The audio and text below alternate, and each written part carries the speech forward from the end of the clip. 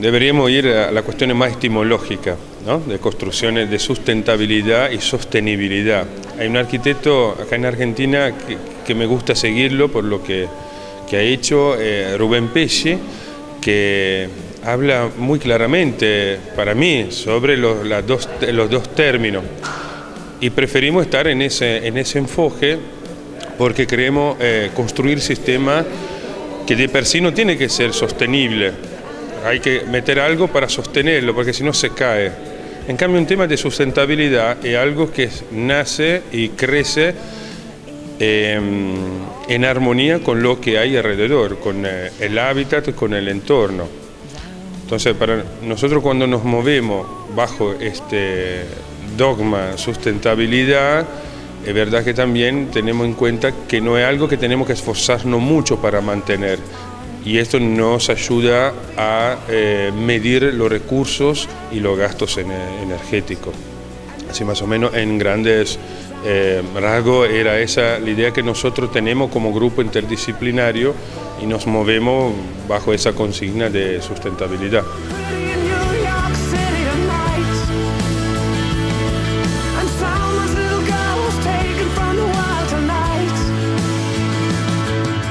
El grupo de, que formé con otros profesionales, eh, abogados, arquitectos, ingenieros, estamos colaborando con la, con la provincia en una, una serie de experiencias de capacitación y formación a cooperativas de vivienda y de trabajo respecto a construcciones sustentables. Por lo, por lo pronto, eh, estamos aplicando estas condiciones que les decía antes.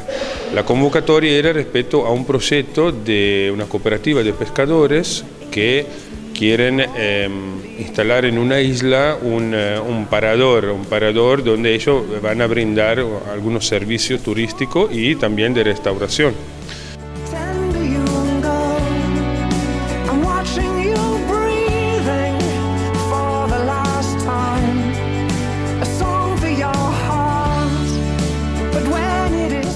Era venir acá, eh, invitado por, eh, siempre por la provincia, por el secretario de, de Turismo, eh, que está siempre bajo, digamos, el Ministerio de la Producción, y ver cómo se podía eh, armonizar, orquestar y nosotros en qué podríamos ser útil.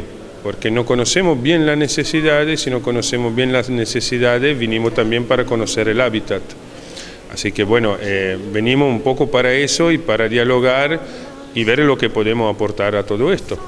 Eh, no, no conocemos el hábitat, no conocemos la exigencia que hay atrás, la exigencia humana.